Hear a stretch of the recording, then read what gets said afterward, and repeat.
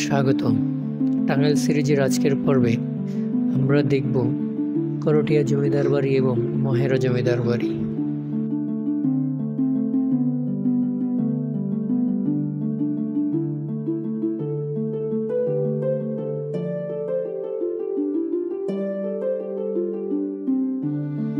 আটিয়ার চাঁদ নামক গ্রন্থ থেকে জানা যায় যে আফগান অধিপতি সুলাইমান খান পন্নী কররানির ছেলে বাইজিদ খান পন্নী ভারতে আগমন করেন। তার পুত্র সাইদ খান পন্নী আটিয়ায় বসতি স্থাপন এবং ষোলোশো আট খ্রিস্টাব্দে সম্রাট জাহাঙ্গীরের রাজত্বকালে আটিয়ায় বিখ্যাত মসজিদ নির্মাণ করেন। এই বংশের ওই এগারোতম পুরুষ সাদুত আলী খান পন্নী টাঙ্গাইলে করটিয়ায় এসে পন্নী বংশের ভীতু প্রতিষ্ঠা করেন।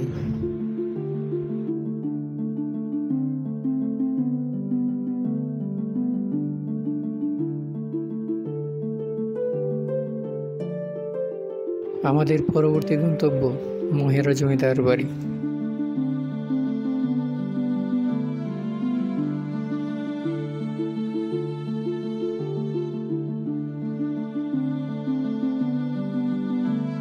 টাঙ্গাইল জেলার মির্জাপুরে অবস্থিত কয়েকটি ঐতিহাসিক স্থাপনার মধ্যে এটি একটি।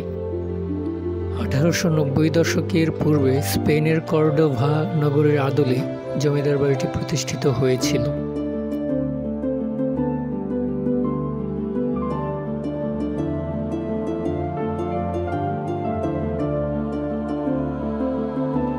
স্বাধীনতা যুদ্ধে পাক বাহিনী মহেরা জমিদার বাড়িতে হামলা করে এবং জমিদার বাড়ির কুলবধূ সহ পাঁচজন গ্রামবাসীকে নির্মমভাবে গুলি করে হত্যা করে।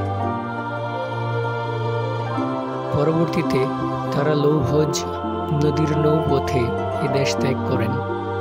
এখানেই তখন মুক্তিবাহিনীর ক্যাম্প স্থাপন করা হয়েছিল।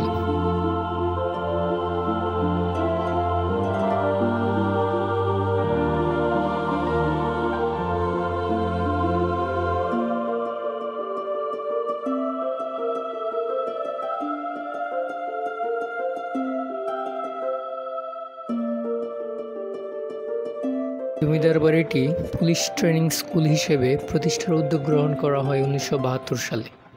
এবং পুলিশ ট্রেনিং স্কুলকে পুলিশ ট্রেনিং সেন্টারে উন্নীত করা হয় উনিশশো নব্বই সালে।